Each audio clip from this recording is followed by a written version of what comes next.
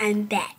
And remember I did that fashion show? That wasn't so good. That was whack. So I'm gonna have to clean up because um my room is so dirty. I mean all these clothes that I put on are so on the floor, so wait. Hi guys, I'm I'm back. And um clothes are hanged up good and um all good. So today I am right now I'm gonna be talking about hmm ah something really bad happened. I have to tell you. I am not going to gymnastics anymore. I don't know why.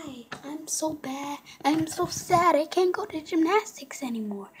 But in the next video, I'm going to tell you, I'm going to show you my gymnastics. now, bye.